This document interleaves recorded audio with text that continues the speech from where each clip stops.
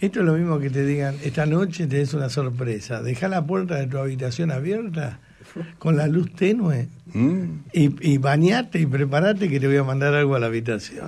Y llega tu suegra y dice, hola, te traje un postre. es la misma desilusión ver la Cristina, ¿viste? Cuando llega Cristina de nuevo, es una cosa, ¿viste? Que a mí me... Además con esos discursos pedorros que... que pero quería hablar de otra cosa. ¿Ustedes se acuerdan cuando yo, en la gestión K anterior, durante la época de Macri, durante la época, hoy, me, hoy recordaba, mira que me involucra lo que voy a decir. Resulta que de buenas a primera, y nadie mejor que el Bebo, que, que siempre está conmigo y se va y viene, pero está conmigo siempre, y es mi amigo, nadie mejor que el Bebo para saber de las cosas que nos han hecho a los periodistas, ¿no? Al Bebo, sin ir. No.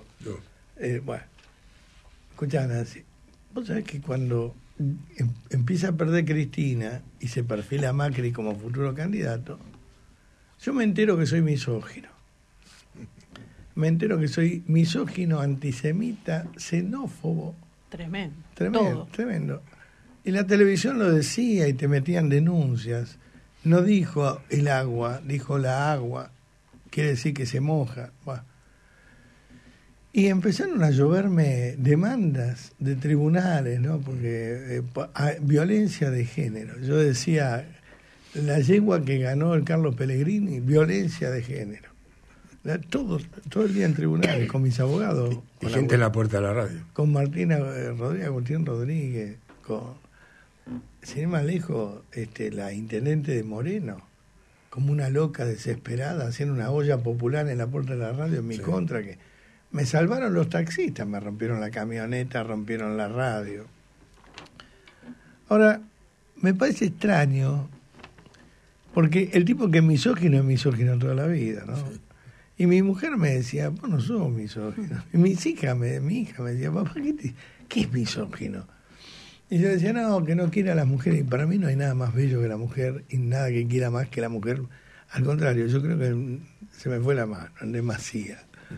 Pero hoy pensaba en el auto, chicos, les digo a los cuatro, cuando venía para la radio. Hace como un año que no me dicen misógino. Eh, eh, es más, me acuerdo que Ani Ventura, la que fuera otro, eh, otrora gran amiga del almirante Macera, Carla Chulnowski, la que fue la mujer del dueño de un estudio de televisión, una rubia que aparece como columnista, en un programa de, de Canal 9, de esta chica eh, eh, Mar- Maju Lozano, Ah, había una rubia que dijo una barbaridad. Una rubia que no quisiera saber por qué está, porque no, no dice nada. Yo nací con un tajita entre las piernas, una locura. Yo escuchaba cosas tan asquerosas y tan degradantes de la mujer que decía, a ver quién es el misógino, ¿no? Este, terrible, terrible. Pero además de facho y gorila, que eso ya es una, ya me lo creí y soy facho y gorila. Pero decía, qué raro que hace un año o un año y medio que no viene de parte, hasta me llegaron a nombrar eh, pasajero, pasajero, ¿cómo se llama cuando uno sube con una bomba a un avión? no grato, no. sí, no, no, no, Peligroso. no, pa- pasajero, ya te voy a decir. Este, que, que se tuvieron que rectificar de aerolíneas, ¿no? El gremio de Viró que cagó a todos los pilotos y a todas las azafatas. Viró, gran sinvergüenza, el gremio de él. Y, y digo, ¿qué pasará que hace un año, un año y medio que, que se terminó el tema de mátenlo a Babi, debe haber otros para matar? ¿O realmente las circunstancias dijeron lo contrario? ¿no? No, no es así, no es persona no grata. No, pa- pasajero disruptivo. A lo que yo le inicié un juicio con Silvina Martínez Aerolínea. Digo, un pasajero disruptivo es un tipo que se pelea en el avión, pero yo en el Sí, avión... sí, o que tenés un arma, o que, que yo- yo sé algo que lo- atenta contra la seguridad. Y Lo no que- cumple las reglas, claro. Lo que yo hablé de Viró, lo hablé en una radio, no en un- O sea, que si de pronto yo mañana soy pasajero disruptivo en la autopista, porque lo de Moyano Hijo, que es el... Ah, perdón, perdón. Sigo, sigo, sigo. En la autopista me mandaron a putear, una mina me dijo, ¿te acuerdas? Dejá de hablar pelotudeces, forro. Sí. Y me, y me hicieron un juicio a mí, por contarlo al aire. O sea, una persecución implacable. Entonces me preguntaba, ¿qué pasó? ¿Se debilitó la, la maquinaria de difamación kirchnerita? Que hace como un año y medio. Chicos, disculpen que hable de mí, pero si le hubiera pasado a ustedes me lo cuentan. Y mandaron al sicario de Navarro, que cobra 200 mil pesos por día para hablar, lo mandaron al sicario de Navarro a agarrarme a trompada por los pasillos de la radio para que me echen a mí de la radio y no, y no indemnizarme. Hasta ese punto. Memo sabe todo y llegaron. Por eso yo decía, cuando la intendente de Moreno, la peor intendente del conurbano, que habría que hacerle ya una investigación a ver de dónde sacan la guita para el departamento de la hermana y algunos, algunas, algunos fondos que dan vuelta por ahí. Este, eh, vino a Puerta de la Radio y trajo 15 personas que me pegaron, me escupieron, me pegaron los tobillos, me, me rompieron la camioneta. ¿Dónde está todo ese grupo de tareas acá que perseguía periodistas en la Puerta de la Radio, que organizaban scratches? ¿Qué pasó? ¿La gente se dio cuenta que la cagaron? ¿Se dieron cuenta que estaban mintiendo y no era el método? ¿O se dieron cuenta que cuanto más le pegaban a un periodista, más crecía? Porque realmente hoy yo estoy entre un grupo de compañeros siendo los, los más escuchados, los más respetados en la calle, o no, me parece que Bebo va por la calle, todo el mundo lo felicita, vos, vos. este, eh, y ellos por la calle no pueden salir ni a comprar un, verdura porque los detesta todo el mundo. Se habrán dado cuenta que erraron en el proceder. Se habrán dado cuenta que la payasada esa de la misoginia le mostraron ellos que son más misóginos que nadie. ¿Por qué digo esto? Porque desapareció una nena en San Luis. Y anoche se me ocurrió pensar en la nena dónde estará, si enterrada o en la cama de algún pedófilo. Y vos sabés que no me podía dormir de pensar si le hubiera pasado a mi hijo. Y yo te puedo asegurar que si le hubiera pasado a mi hija, yo no iba a ir a la justicia a que me digan espere a ver qué pasa. No me importa quién, pero adelante no queda nadie.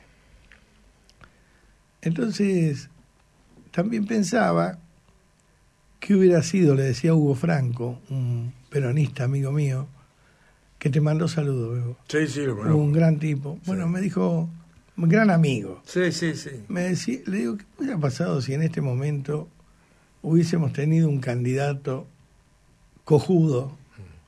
Y voy a decir algo que, que pero le pregunto, porque siempre, mira, el otro día en una reunión me peleé, mi mujer me dice, ¿por qué tenés que discutir? No discuto. La Alejo, la Alejo es un amigo mío que amo. Estábamos una comida el sábado a la noche. Y entonces yo le dije de la importancia de. Ay, mira vos, aparece el tema. De la importancia de un rey. Ah. Que Belgrano quería tener un rey, Inca y San Martín también. Que los países de Latinoamérica no son para democracia, son para reyes. Pero ¿por qué es mi fundamento? Porque el rey, así como le dijo Juan Carlos a Chávez, ¿por qué no te callas? Y se cayó, es el que lauda y nosotros necesitamos alguien que laude para que Moyano no sea multimillonario y Cristina también, se afane en la Argentina y nadie se meta. Porque el rey de última lo manda a llamar y dice, hermano, terminala. Que Inglaterra, decía yo, se salvó este, de la Segunda Guerra Mundial gracias a que la reina de Inglaterra avaló a Churchill, el rey Jorge, que de, de hecho eh, se escondían en las catacumbas a manejar la guerra con Churchill. Y que si la reina no, no hubiera dado el apoyo, Inglaterra se entregaba. No es así. Y que los capitales de las coronas mueven la bolsa en el mundo. Y esto después quiero que hable Bebo. Me decía, no, si las coronas son representativas. No, tenés a Máxima Zorrayeta, tenés Holanda, que el petróleo de Holanda lo maneja la corona y en Inglaterra cantidad de negocios este, los maneja la corona. Y, y, eso influye en la... todo esto llega. Pero por decir que... Pero la discusión con mis amigos es buena y acalorada porque te enseña historia y aprendes historia. Y entre los Tudor y la Rosa y esto y el otro vas aprendiendo, vas aprendiendo un poco de por qué estamos como estamos y la necesidad de que en la Argentina haya un rey que diga, busquen a la nena de San Luis ya. Y no que se manejen con un fiscalucho o un abogaducho o un comisarucho o un este, gobernaducho que se caguen todo y que si lo mató la hija, como pasó con María Soledad Morales, si la mató el hijo del gobernador, conviene no investigar. Entonces, realmente, ¿por qué llegó hasta acá con toda esta conclusión? Porque nosotros no servimos para la democracia, aunque querramos ser demócratas. Nosotros no nacimos por la democracia y ahí vuelvo a lo indigesto. Entonces le decía Hugo Franco, viste que a Aldo Rico le llaman el ñato. ¿Qué hubiese pasado si Aldo Rico hubiese tenido 20 años menos y hubiese querido ser presidente hoy? Ganaba. Ganaba. Porque hoy el país pide mano rígida. Porque cuando la ves a Cristina hablar las andeses que habla y Alberto reírse atrás como un claque, vos decís, acá hace falta alguien que ponga los huevos arriba de la mesa y que se terminó la falopa, se terminaron los chorros, se terminaron los ladrones del Estado, se terminó todo y empezamos a salir con el país adelante y estoy seguro que lo sacamos. Pero con los flanes estos que se presentaron, no lo vamos a sacar nunca, nunca vas a sacar la Argentina adelante con las listas que vi, porque es más de lo mismo. Y cuando ven la oposición hablando y escuchás que dice, no, porque hay que ver para adelante, y que lo vengo escuchando de los años 80, vamos a salir, hay que ver para adelante, no hay adelante en este país. En este país no hay adelante, hay atrás. Adelante no hay nada porque se lo robaron porque el kirchnerismo y otros gobiernos también colaboraron, fundamentalmente el peronismo. Se ha robado todo lo que vos podías usar en el futuro.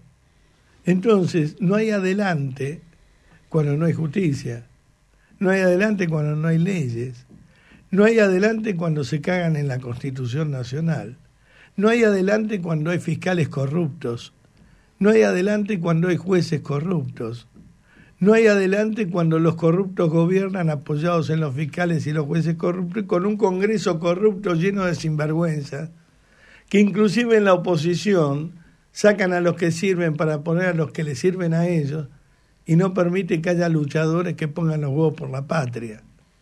Entonces, ¿de qué adelante me están hablando? ¿De qué adelante me están hablando?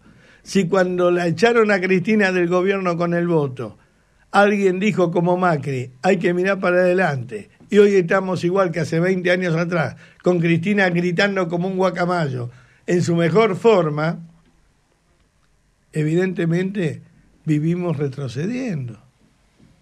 Por eso mismo quería hablar de esto, porque la nena no aparece, los pañuelos verdes no estuvieron, el Ministerio de la Mujer no actuó, los fiscales no la buscaron, podría ser mi hija la o mi nieta, la criatura no está.